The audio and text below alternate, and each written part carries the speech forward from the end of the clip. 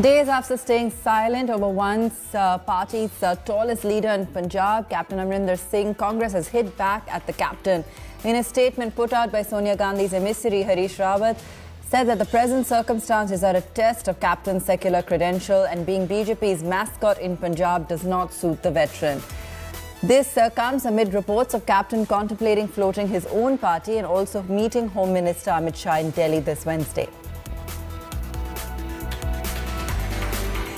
Supreme Court has lashed out at farmer groups over the blocking of highways and rail routes over farm laws.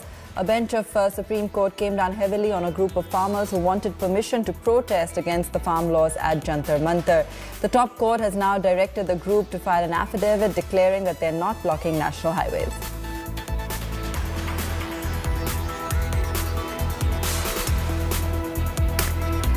Sixty-eight years after the nationalization of Air India, Tatas have once again uh, got ownership of the airline. According to sources close to the finance ministry, Tata won the bid for Air India over other bidders. Ajay Singh, promoter of SpiceJet, was also looking uh, to own the airline. A formal announcement is expected only next week.